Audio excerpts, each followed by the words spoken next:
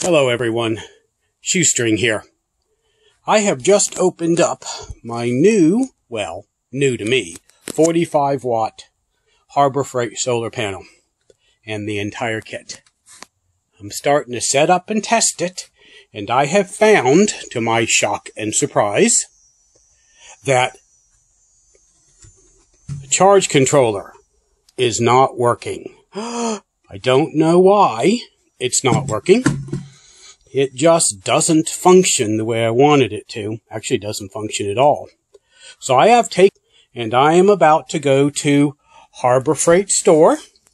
Even though I understand this is a clearance item, but I talked to the manager at our local Harbor Freight store, a man by the name of Cody, who says, come by and see him today, and he's going to see what he can do to help us out. So, I'm going to take the charge controller and I am going to take the connections and I'm going to see if we can make this work and fix it.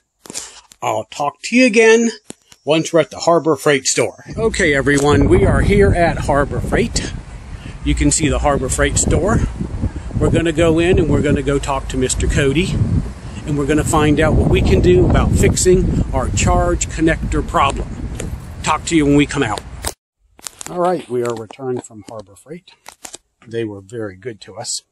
They gave us a new charge controller, hopefully one that will work. This is 500 watt. Our other was 100 watt, so it is much bigger, but the connections are different. So what I'm going to have to do is cut these metal circles off and strip the wires where they will fit inside of this. So to get this unboxed and we'll do some wire cutting and then we'll see what we have here. All right, the wires are all cut and it looks ready to go. And what I will do is I will do a complete other video on how to connect this correctly with the solar panels and with the battery. So everyone will have a good idea and can walk through it yourselves if you need to. Shoestring out.